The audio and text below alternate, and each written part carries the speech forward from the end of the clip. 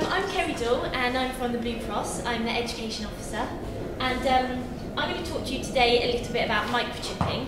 Um, any animal that comes into us will get um, scanned to see if they have a microchip and if they don't, we microchip everything. Um, you know, your cats, dogs and also all our horses that come into us.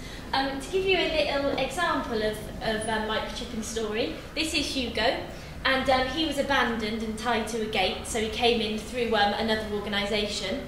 Um, he didn't have a microchip, so no one could trace his owner. So he's now been signed over to the Blue Cross.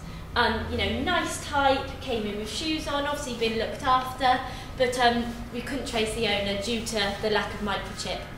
Um, July last year, so July 2009, any young horse, so any foal that's born, now has to be microchipped when they um, when they go to order a passport.